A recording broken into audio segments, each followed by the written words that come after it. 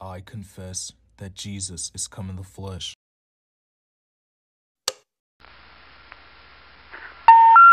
We're sorry. You have reached a number that has been disconnected or is no longer in service. If you feel you have reached this recording in error, please check the number and try your call again. We're sorry. You have reached a number that has been disconnected or is no longer in service. If you feel you have reached this recording in error, please check the number and try your call again. Blessed is he that readeth, and they that hear the words of this prophecy, and keep those things which are written therein, for the time is at hand.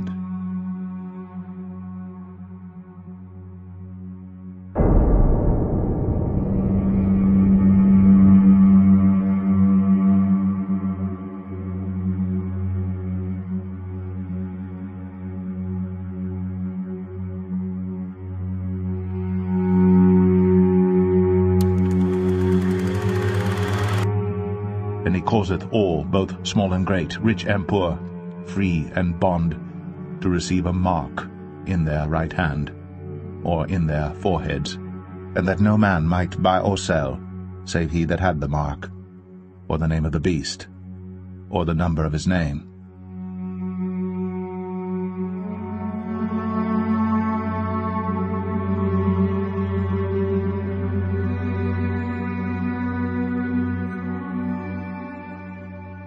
American families are being decimated by the worst inflation in half a century.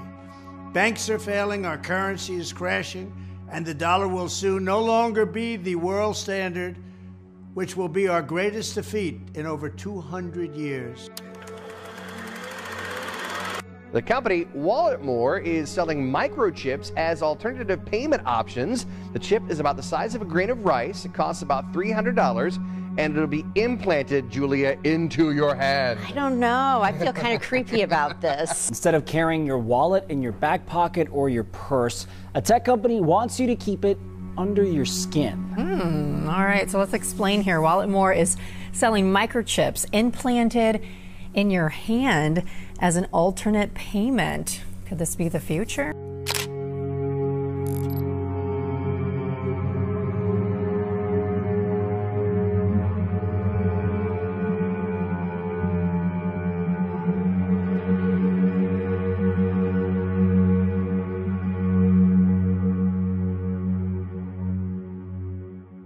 Elon and his team at Neuralink have recently made the claim that their brain implant technology will be able to cure blindness. Elon said that even if someone has never had vision before, if they were born blind, Neuralink will allow them to see the world. Elon Musk wants to implant a chip in your brain to read your thoughts. He's done it with a monkey, he's done it with a pig. Will a human be next? It's the concept behind his company Neuralink, which is developing what's known as a brain computer interface. Essentially, it's a chip implanted into your skull that connects to your brain with ultrafine wires. The chip, known as the link, processes neural signals, feeding them to computers out in the real world. Elon Musk is a man of many things cars, rocket ships, tweeting, and brain implants. Neuralink, owned by Musk, claims to have created a brain chip that treats paralysis and blindness. But we're still a ways away from testing it out on patients after the FDA denied Neuralink's request to start human trials. The United States Food and Drug Administration has finally given their approval for Elon Musk's brain implant company Neuralink to begin their first ever clinical human trial. Let that sink in. The window of opportunity for Neuralink to change the world is open. Little children, it is the last time. And as ye have heard that Antichrist shall come, even now are there many antichrists, whereby we know that it is the last time. The San Francisco based bank becomes the third to fail in the U.S. in two months. First Republic's assets are being sold to JP Morgan Chase, America's biggest bank. Customers saw 84 branches across eight states reopen Monday under the new name after regulators worked all weekend to get the deal done. This is now the second largest bank failure in U.S. history.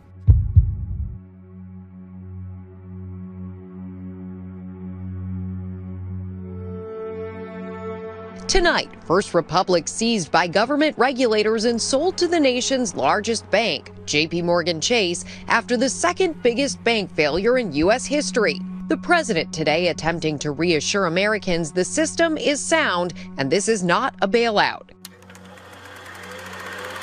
In the US, where some of the world's leading money managers are warning the collapse of another American bank could lead to a credit crunch and an economic slowdown.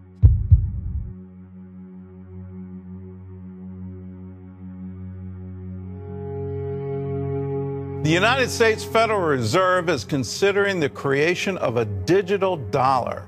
Cybercurrencies have many supporters, yet critics warn they would be a privacy nightmare. One currency expert claims the removal of cash would push America closer to a totalitarian state. Federal Reserve Chairman Jerome Powell told the House Financial Services Committee in March that the Fed had already begun testing a digital dollar. So, what we're doing is experimenting in kind of early stage experimentation. How would this work? Does it work? What's the best technology? What's the most efficient? Just like paper dollars, a central bank digital currency, or CBDC, would be issued by the Federal Reserve. Those pushing for it say it would have several advantages over physical money. They say it could be used to fight inflation because the Fed would have more direct control over the money supply. But thou, O Daniel, shut up the words, and seal the book, even to the time of the end. Many shall run to and fro, and knowledge shall be increased. The man widely seen as the godfather of artificial intelligence has quit his job at Google, warning of the dangers of AI.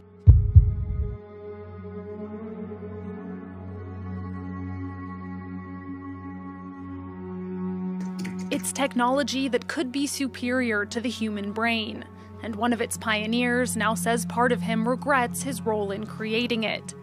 75 year old computer scientist Geoffrey Hinton says he quit his job at Google so he can independently share his concerns about AI technology, which include fears over disinformation and stealing human jobs, but also go far beyond that. This morning, as companies race to integrate artificial intelligence into our everyday lives, one man behind that technology has resigned from Google after more than a decade. Dr. Geoffrey Hinton, known as the godfather of artificial intelligence, says he stepped down so he can freely discuss the dangers of AI. He tells the New York Times he's worried about artificial intelligence taking jobs from people and also misinformation with fake videos, photos, and texts saying the average person will not be able to know what is true anymore. And he warns it is hard to see how you can prevent the bad actors from using it for bad things. Thus saith the Lord Learn not the way of the heathen, and be not dismayed at the signs of heaven, for the heathen are dismayed at them.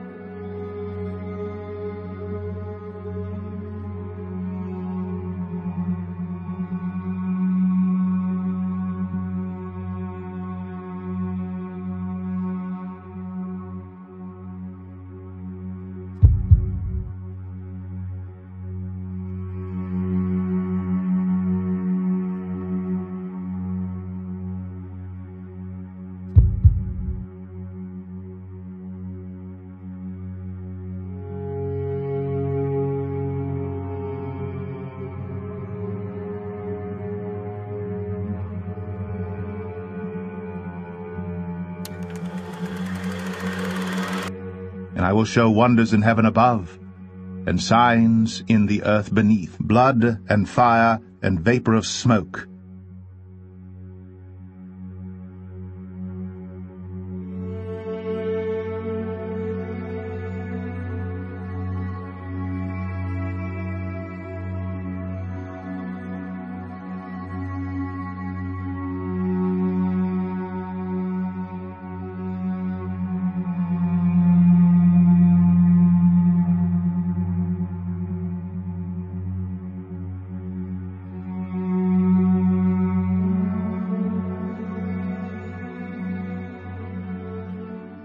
Was hard not to notice the unusual color of the sunset that fell into the Raleigh sky tonight.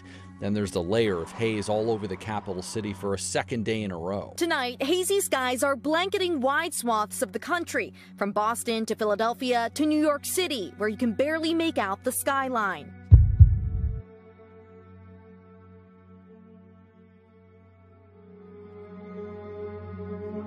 We know millions of you are watching tonight indoors and trying to escape this toxic air outside. In fact, 115 million Americans across 16 states tonight under hazardous air warnings and alerts. All of this from the Canadian wildfires. This system locked in place, bringing toxic smoke down into the U.S. like a conveyor belt. Tonight here in New York City, the mayor now urging everyone in the city to stay inside if you can. Tonight, New York City's skyline looking a lot like Mars as that massive, ominous plume of wildfire smoke pours over the border. Millions of Americans are feeling its effects. From New York City to Philadelphia and D.C., and as far south as North Carolina and Georgia. It smelled like, you know, our neighbors might be having a campfire, and it just sort of an eerie feeling.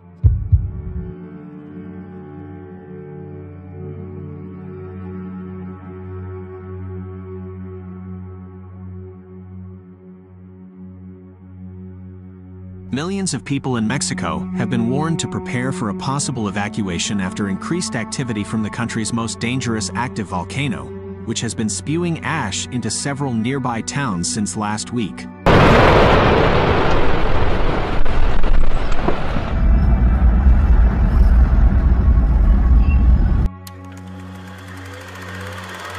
The burden of Damascus. Behold, Damascus is taken away from being a city, and it shall be a ruinous heap. Tonight, new violence in Israel. Israel's defense forces saying three rockets were fired from Syria into Israeli territory, but only one landing in the Golan Heights. This coming after Israel's military said Palestinian militants unleashed a barrage of rockets on Israel earlier this week from both the Gaza Strip and Lebanon, the most cross border violence since 2006. Israel's defense forces firing back, claiming to strike Hamas controlled targets.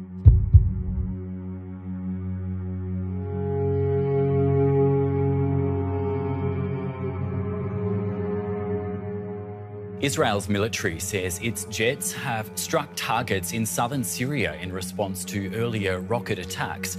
The airstrikes hit a Syrian military compound and radar systems in the area from where the rockets were fired. The Israeli army says it holds the state of Syria responsible for all acts carried out on its territory. At least six rockets were fired from Syrian territory towards Israel overnight. Some landed inside the Israeli occupied Golan Heights, but no casualties have been reported.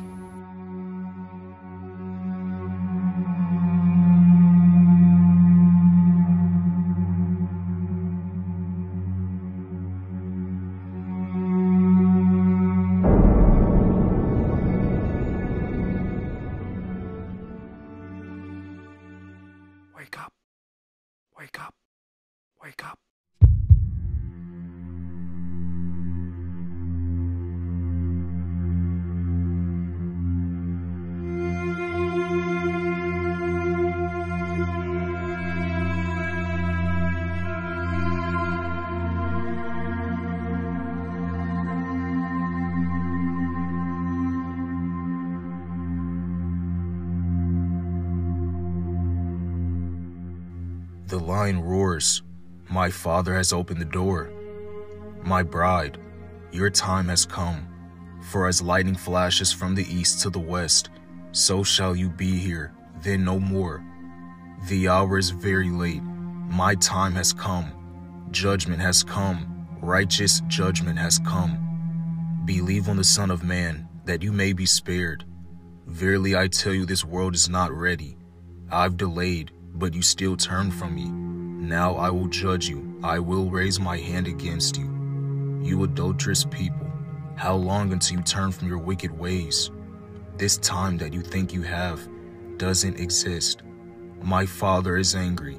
I speak, but you don't hear. I call, but you don't answer. Your decision is final.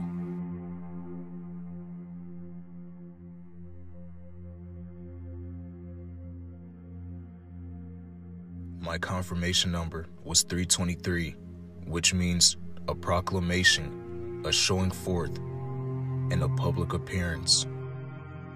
My second confirmation number was 227, which means true, at that time. Thank you all so very much for watching. I pray that this video and message from our Lord Jesus Christ blessed you all and encouraged you all. If you are wondering what do I use for my numbers definitions, I use Strong's Concordance. And if you are wondering how do I receive my confirmation numbers, either the Holy Spirit gives it to me or I check the time that I received the message. Whether I see you all in the next video or in the kingdom of heaven, I shall see you all again.